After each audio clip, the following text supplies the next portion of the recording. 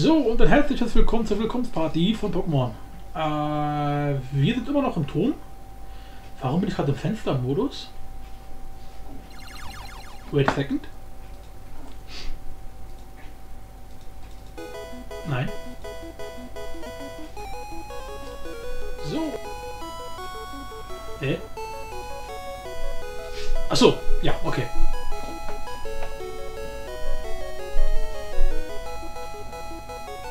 Ne, wir haben letzte Folge im Vollbildmodus beendet. Aber warum bin ich jetzt im Fenstermodus? Soll das so sein? Macht das Sinn? Fragezeichen. MGBA, was tust du mir an? So. Hatte schon Befürchtungen, letzte Aufnahme ist verkackt, aber alles gut. Da rutscht mir direkt meine Hose ins Herz. Oder andersrum? So, äh, wir sind immer noch bei den komischen Steintafel, wo irgendwelche random Namen draufstehen. Selbst wir können diese eigenwilligen Geister nicht identifizieren. Man benötigt das Silscope, um sie zu erkennen. Okay. Möchtest du mir irgendwas andrehen oder was? Bitte gehen Sie weiter. So, da ist die nächste Treppe, ansonsten ist hier nichts.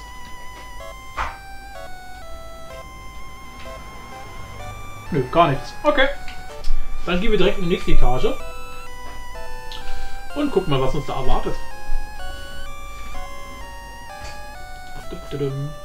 Eigentlich sowieso ein bisschen total dumm. Die Treppe hier ist eigentlich falsch rumgebaut.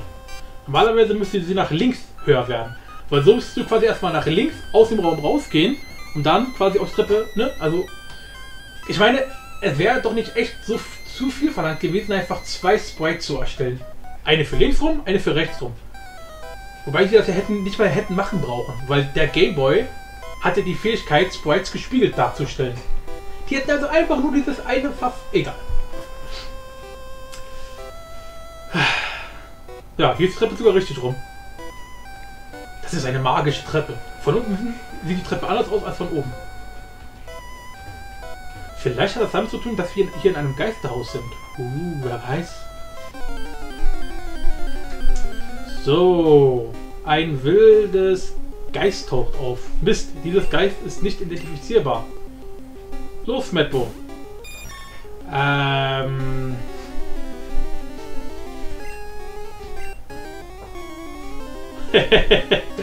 Svetbo hat, äh, kann sich vor Angst nicht bewegen. Geist, hau ab, verschwinde. Okay, tschüss, Flucht.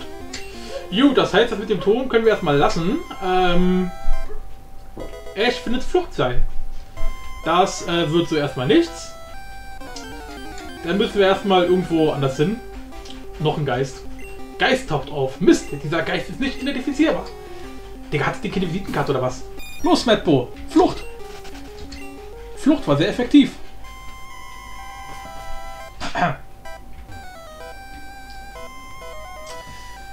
Jutchen.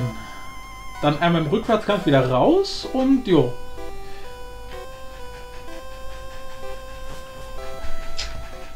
Dann würde ich mal sagen, gehen wir erst links lang oder erst unten lang? Ich würde mal sagen, wir bleiben einfach im Uhrzeigersinn und gehen mal nach links. Und es ist wieder grün. Ja, herrlich. Diese wohlwollende Atmosphäre hier. Schönen guten Tag, junge Dame. Welches Pokémon ist süß, pummelig und kuschelig? Hm. Die kann ja nur, nur von Tragosso reden, oder? Wie kommt das mit dem Pummel auf? Dann hau ich die. Die hat zwei Pokémon, okay? Und Pipi. Ah gut, okay. Ja, Pipi würde beim weitesten Sinn auch noch auf die Beschreibung passen. Ich hätte eher mit dem Bummeluft gedacht, äh, gerechnet, aber okay. Äh, nee, wir nutzen lieber Psystrahl. Das Schlimme ist, Pipi und, ähm... Aua. Duplex-Hieb. Digga, ich hau dich gleich. Dreimal getroffen. Ähm, genau. Pipi und manche andere Pokémon haben ja später auch noch so einen anderen Typ, und zwar Typ Fee. Und dagegen sind wir tatsächlich mit Smetbo auch wieder relativ machtlos. Ich weiß das gerade nicht. Hier im Pokémon, also in der ersten Generation ist das ja glaube ich Typ normal. Von daher ist das hier nicht so schwer. Aber später bei Kristall wird dann, wenn solche Pokémon noch mächtig den Arsch einheizen. Oh nö, nicht Gesang. Ich hau dich gleich, während ich schlafe. Hm. Ah ja, nächste Pokémon Center ist ja nicht so, so weit entfernt. Von daher. Was soll's. Ernsthaft jetzt, Spoiler? Ist das ein Scheiß Ernst? Ist das ein Scheiß Ernst? Smetto steht fest.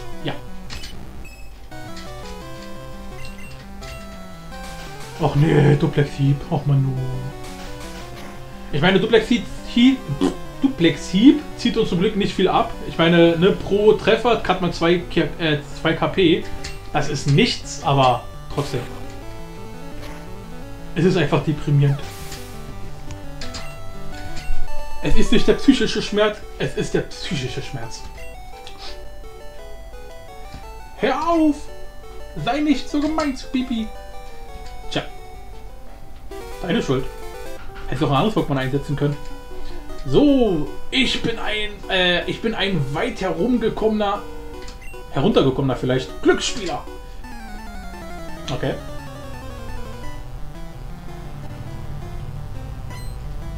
Spieler möchte kämpfen. Spieler setzt Vulkan. Oh. Haben wir schon mal gegen Vulkano gekämpft? Glaube nicht. Tatsächlich der erste Kontakt mit, mit, mit Außerirdischen. Und doch schon Level 24. Hei, hei. Ah, scheiße. Selbst, selbst Zystrahl braucht zwei Angriffe. Vulcano ist verwirrt. Vulcano hat sich von Verwirrung selbst verletzt. Yay! Jawoll, tot. Easy. Smetto hält 468 K äh, EP. Ein Vulpix. Na gut, da reicht Konfusion. Ne, wir bleiben bei Zielstrahl. Wir gehen einfach mal auf Nummer sicher. Ja, siehst du. Ach, Glut, Alter. Ernsthaft. ah, aber wir sind verbrannt. Gut, das heißt, wir müssen dann erstmal direkt zum Pokémon Center. Aua. Ruckzuck-Hieb? Arsch. Ich meine, Verbrennung ist zum Glück nicht so schlimm wie Vergiftung. Das heißt, außerhalb des Kampfs kriegen wir keinen weiteren Schaden. Anders als bei der Vergiftung. Da bekommen wir, ne? Das heißt, wir können in Ruhe zum Pokémon Center gehen. Aber trotzdem, wir müssen halt dahin gehen. Weil noch ein Trainer dürften wir nicht aushalten. Das macht Svetbo nicht mit. Zum Glück ist der Weg ja nicht allzu weit. So, willkommen im Pokémon Center. Wir haben deine Pokémon und machen sie wieder fit. McFit. Da werden sie immer mit Fit abgewaschen. Ding, ding, da, du, ding. So, danke, Pokémon sind wieder topfit. Ja, sehr schön.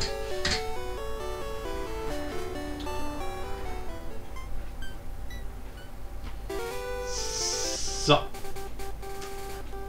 Dann haben wir die ersten Mal schon mal geschafft. Hier ist ein wunderschöner Zerschneiderraum. Äh, Spielerknopf. Okay. Okay, ist bloß ein Shortcut mit einer Trainingswiese. Können wir erstmal ignorieren. Ich kämpfe lieber gegen Trainer. Gibt mehr, äh, gibt mehr. Was? EP? Digga, EP, KP, um zu einem, äh, um zu gewinnen, benötigst du eine gute, eine gute Strategie. Ja, meine Strategie ist einfach draufhauen. Die Band Spencer äh, Strategie. Streber möchte kämpfen. Streber setzt Slimer ein. Gut, okay, bei Slimer ist mit draufhauen ein bisschen schlecht. Ich glaube mal, da verdickt die, Haus, äh, die Faust einfach. Äh, hm. Slimer ist ja Gott, der Typ hat Slime überhaupt nochmal. Egal, Psychra sollte alles regeln. Mal gucken. Und wenn nicht, können wir immer noch wechseln. Ja, siehst du. Ein Treffer weg. Sehr schön. Und noch ein Flymog?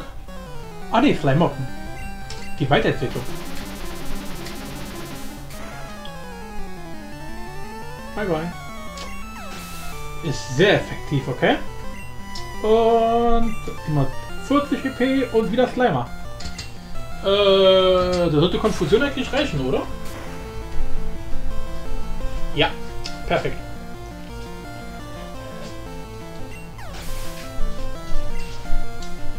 So, 420 EP.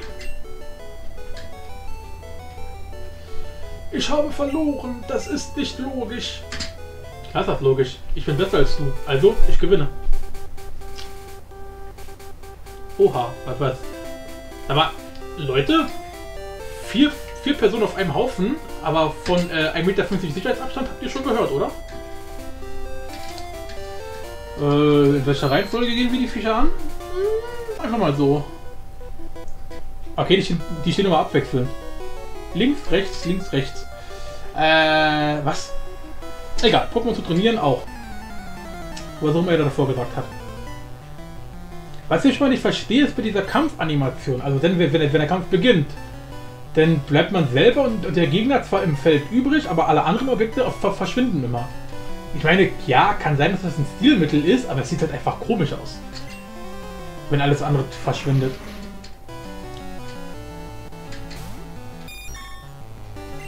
So, äh... Smogon, Level 26. Ich würde einfach mal auf Risiko gehen und äh, versuchen, ne, mit Konfusion. Ah, okay, hatte geklappt. Okay, wow, Volltreffer. 630 EP. Lol. Was? Du hast gerade mal ein Pokémon? Okay, ich gehe, li äh, ich gehe lieber zur Schule. So, wir haben 5 Euro bekommen. Nee, was? Irgendwie so. Blöd aussehen, wie hier herumzustehen. Ja, irgendwie so. Göre möchte rumgören.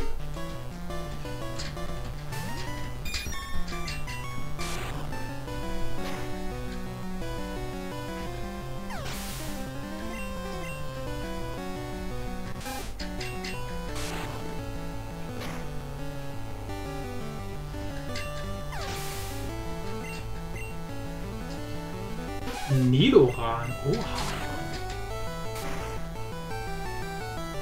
Haben wir auch schon lange nicht mehr gesehen, ne?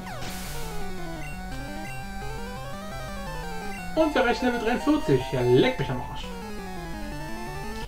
Und Mauze. Ich habe mittlerweile haben wir überall mehr als das Doppelte an Level. Das heißt, langsam haben wir echt wieder einen richtig schönen Levelvorteil. Der, der, der, der hat fünf Pokémon, würde mich verarschen? Hatten jetzt gar nicht viel Geld her. Die sind alle geklaut. Hat sie bestimmt alle in, in, in irgendwelchen Wiesen gefangen. Show! So. Ich mag Nidoran sehr gerne, deshalb sammle ich sie. Oh Gott. Du bist ja hier aber an der falschen Stelle. Nidoran gibt es am Anfang der Map.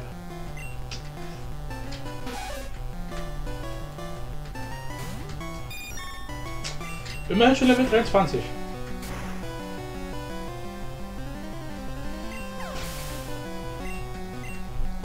...290 GP, na so, geht. Oh, Nidorina. Mm, aber auch ein Level 23. Ja gut, kann aber wieder sein, dass sie wieder mehr KP hat. Okay, ah cool. Volltreffer. 570 EP. Warum nur? Weil du scheiße bist fragt ihr auch noch so. Mauzi ist so süß. Naja, eigentlich schon. Wenn man jetzt nicht unbedingt das Mauzi von Team Rocket nimmt, ist Mauzi schon relativ süß. Ja. Wobei, so wie es da abgebildet ist, jetzt auch nicht unbedingt, aber... So, Level 24. Mal gucken, ob es klappt. Ja, sehr schön. Noch ein Mauzi. Hat jetzt nur ein Mauzi? Hat sie vielleicht auch ein Stabilität? Was? War doch genau die gleiche Kon... Oh, hat das höhere Level als das davor. Hm. Gute Frage. Oder noch mal. Gibt es überhaupt einen Trainer, der Stabilität hat? Glaube nicht. Aber Giovanni, der kommt ja hier auch noch vor. Der hat den wahrscheinlich... Der hat dann wahrscheinlich eine Stabilität auch und 350 GP und wir bisschen Göre. Gut, dann würde ich mal sagen, verabschiede ich mich damit auch mal. Ne, die vier haben wir jetzt erledigt und äh, ich würde mal sagen, die restlichen, was hier noch kommt. Okay, hier ist noch einer. Machen wir dann mal danach. Dass er L ruft. Was? Nein. So. Man sieht sich.